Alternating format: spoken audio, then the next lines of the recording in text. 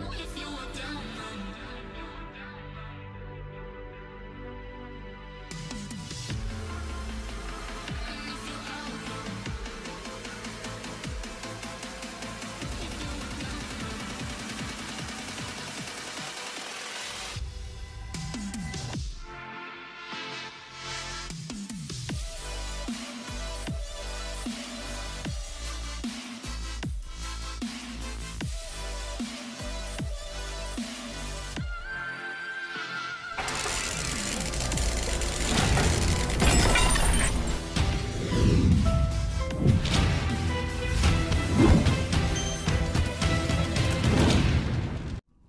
Welcome to the Fray Flag Pack. It's Termex here, and welcome back to another Borderlands 3 build video. Today, we're going to be making a build centered around the 7th Sense Jakobs Pistol that has been added with DLC 2, Guns, Love, and Tentacles. I'm really excited to make a build about this gun, and I finally got the setup I wanted, along with a bunch of farming hours and the help of my amazing subscribers and some friends in my Discord. I now bring you the ultimate 7th sense flak build. Let's hop right into it. Alright, so to start off into the Hunter tree, we're going to be putting 4 out of 5 in Interplanetary Stalker for the bonus stack damage when we get kills. 3 out of 3 in the Leave No Trace, just so we can add ammo back to our magazine, because this gun does not naturally have this. 3 out of 3 in the head count, so we can get our action skill back quicker when we score a critical hit. 5 out of 5 in a 2 Fang because if we shoot 2 projectiles, we're going to be having 6 of those little pellets coming from the enemy instead of 3. 3 out of 3 in the big game because a hunter skill duration will be doubled on all of our hunt skills and the effects of those will be boosted by 30%. 3 out of 3 into the most dangerous game so we get 25% gun damage and 10% crit damage every time we kill a badass. 1 out of 1 into Galactic Shadow for 15% raw critical hit damage. 3 out of 5 in a Grim Harvest for the 9% gun damage, but we only put 3 points into it just so we can move down and finally get Megavore. Critical hits are a big part of this gun because it procs its most powerful effect, and this is basically what we're going to need so we don't have to be in fadeaway all of the time. Speaking of fadeaway, over into the Stalker tree, 5 out of 5 in a Furious Attack for more gun damage while shooting. 3 out of 3 in the All My BFFs for shared health regeneration. This health regeneration is very helpful because Flak needs survivability, especially when it comes to level 57, and this just helps it out a lot. 3 out of 5 in a self-repairing system, so he has more maximum health and a little bit more health regeneration.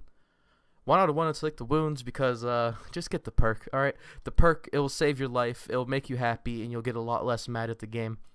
Three out of three into turn tail and run for extra gun damage and fire rate, and you get regeneration and damage reduction while on the move, which is very helpful for the Maliwan takedown, and in general bossing in arenas where there's homing projectiles, or just in mobbing if you feel like running away. 3 out of 3 into the Fast and the Furriest. It is 5 out of 3 because of my class mod that boosted it, but it's almost 50% gun damage along with a little extra movement speed. 5 out of 5 in a Hidden Machine. I know this skill is bugged, but it's going to get fixed soon, and it still kind of works sometimes, so just put 5 points into it, because we're not going to benefit from Fire Rate or Sick'em, and we're definitely not going to benefit from Eager to Impress because we already have head counts. 2 out of 2 into Rage and Recover for extra health, and since we have all my BFFs, it's going to make Rage and Recover work a lot better than normal. And 1 out of 1 into the Power Inside for the 25% extra damage when we use our action skill, or 50% extra damage when we use it at full health. As for the setup you want to run, you want to run Fadeaway along with Until You Are Dead for the health regeneration and movement speed, and Unblinking Eye for extra critical hit damage. And for the pet, I always like to think personal preference, but since we're running with elemental weapons, we're going to go with a Spiderant Scorcher for that 10% buff and a little bit of health regeneration as well. Over into our Guardian rank, it will be disabled for the purpose of this build, so no matter what level you are, how much experience you have, this build will definitely work for you. Over into the gear, you're going to start off with the Dastardly 7th Sense. Now you may be wondering, term, why isn't this gun anointed? Well, this gun cannot be anointed, and I think it's for good reason. This gun is very powerful. It could use the anointments, but it just, it's so powerful. Maybe they'll add anointments in the future, but I highly doubt it. This gun really isn't in need of it. But the thing about this gun is when you shoot an enemy, you're going to be having a bunch of targets I'll show you in Sanctuary real quick, but the whole premise of this gun, if you know about the King or Queen's Call, every time you shoot those pistols, you shoot one projectile and then three projectiles fly up into the air and home back on your enemy. This is kind of similar to how this gun operates, but a little bit different. But I think it's a little bit better and here's why. We're going to go over to the target dummy in Sanctuary just so I can show you guys what I mean. Now, when we're going to shoot this dummy, you're going to see a bunch of these little projectiles fly away. Now, what we do is, as you see, they're not homing back in on the target, no matter what we're doing. But right when we reload, they home back in. So when you're in the fight, you want to load into the enemy, and then reload. And then, as you can see, a bunch of damage is going to stack on top of the enemy. Now that I explained that, let's move on to our actual equipped gear. For the shield, for once I went with the stopgap, a level 57 stopgap with a cryo damage anointment, which helps a lot since there's no anointment on the 7th Sense, and it will always come in cryo. And I went with the hex for my grenade because it's not been getting a lot of love recently, and I believe it's an underrated grenade still. I think it's still very viable. And we get the action skill and anointment with bonus fire damage. You can always switch this out with I'll, I'll have a Hunter Seeker in the save file you guys can use, and even the Moxxi's Bouncing Pair if you're into that, but they're all different anointments. Yes, this will be a PC save file if you were curious. As for the relic, I went with the Snowdrift, but I went with pistol damage and magazine size. The magazine size is mainly because it's only a magazine size of 6, and to me that's not really enough when you're trying to constantly proc leave no trace because with leave no trace you have to shoot fast and if you don't have a big enough mag it's going to be useless. So the mag 9 really helps when you're fighting distance targets because the projectiles do have some travel time. As for the class mod i got a Stackbot which was given to me by one of my amazing amazing subscribers in my discord.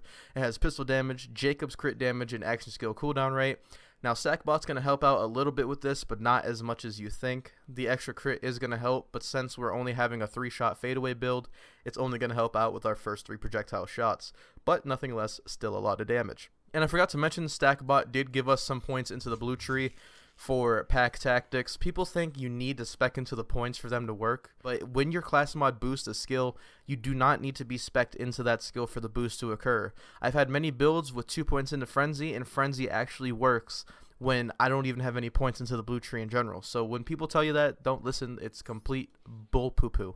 Okay? But anyway, since I want to show you guys the main potential of this build, I think it's going to be better if I go into Athenas just because Athenas has a wide range of enemies. You probably saw a little bit of it in the trailer or I guess the preview of this build in the beginning of the video. But people always ask, why do you always run Athenas on your build videos? It's because there's a range of enemies. Armored enemies, shielded enemies, heavyweight enemies, and annoying enemies. It's like a good mix of everything. So it lets you know, in general, what the build's going to perform like. So what we're going to do, I tried this with Rack Attack, and Rack Attack kind of helps, it kind of works, but for me, Fadeaway is a lot better with survivability. And I know I'm going to have the comment, if you're wondering what skin that I am running, it is the Butt Dazzle that you get for the Season Pass. I just want to get that out of the way because I always have that question. But let's continue. Go into our Fadeaway, go in with this little heavyweight, reload. Okay, that was a little overkill. I didn't need to put that many shots into him, but it worked out fine. I killed him before I even reloaded. As you see, that might happen sometimes. But the projectiles do have a travel speed. Like, they're not instant, which is kind of unfortunate. But it balances out the gun, I guess. Every gun has to have some sort of balance. And I also got a question in my Discord if this will replace the King's Call. And I think for some things it will. But I think they both have their uses because the projectiles on this gun are wonky sometimes. But the King's Call, the projectiles are pretty consistent regardless of what you're doing. Oh, there's a guy behind me. I didn't even realize that. I was like, where's this damage coming from? Oh, but that's fine. We're going to kill him real quick and head back up. Go back into fadeaway. And kill some more of these guys. The three-shot fadeaway is actually a lot better than most people think.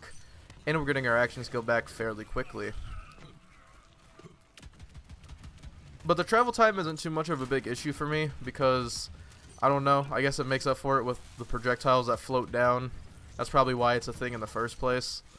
But one big thing is like fast moving targets like these war dogs, they're going to be more of a pain in the butt just because they're moving around and you have to like shoot side to side. Alright, we are at Traunt.